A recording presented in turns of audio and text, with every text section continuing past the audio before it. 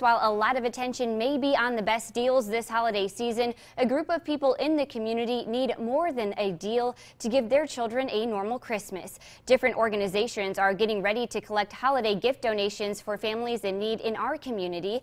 News 18's Kelly Roberts brings us details on how you can help donate.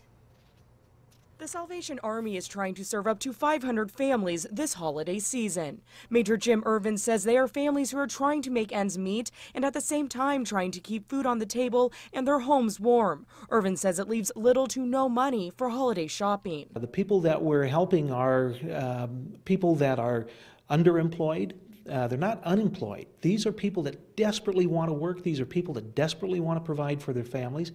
And so this is a great way to help families uh, come together, be able to celebrate the Christmas season. The Salvation Army is accepting gift donations for those families. Irvin says you can grab a paper angel at the Salvation Army or at the Tippecanoe Mall with the age of a child and the gift they're hoping to receive.